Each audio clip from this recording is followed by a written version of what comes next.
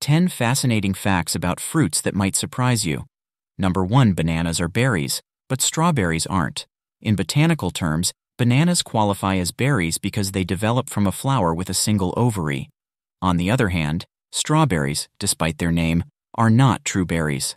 They are classified as aggregate fruits because they form from a flower with multiple ovaries. Number 2. Apples float in water. Due to their high percentage of air, apples are less dense than water, causing them to float. This is because 25% of an apple's volume is air. Number 3. Tomatoes are fruits. Despite being commonly used as a vegetable in culinary contexts, tomatoes are scientifically classified as fruits. They develop from the ovary of a flower and contain seeds. Number 4. The world's heaviest fruit is the jackfruit. The jackfruit, native to southwest India, is the largest fruit that grows on a tree. It can weigh up to 80 pounds, 36 kilograms, and is rich in nutrients. Number 5. Pineapples take almost three years to grow. It typically takes around 18 to 20 months for a pineapple to reach maturity, and it often requires an additional few months for optimal sweetness. Number 6. Oranges can change from green to orange on the tree. Oranges can be completely green and gradually turn orange while still on the tree.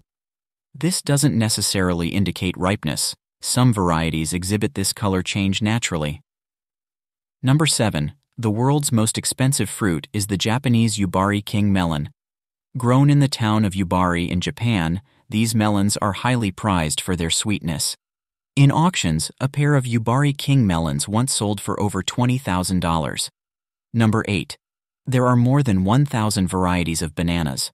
The Cavendish banana is the most commonly consumed type, but there are numerous other varieties with distinct flavors, textures, and sizes. Number 9. Grapes can explode when microwaved. If you cut a grape in half and place it in the microwave, it can produce sparks. This phenomenon is called plasma, and it occurs due to the electromagnetic fields interacting with the ions in the grape. Number 10. Watermelons are berries too. Botanically speaking, Watermelons are classified as berries because they develop from a flower with one ovary and they have an outer rind and inner flesh with seeds. These facts showcase the diversity and uniqueness of fruits in the plant kingdom. For more video, follow me.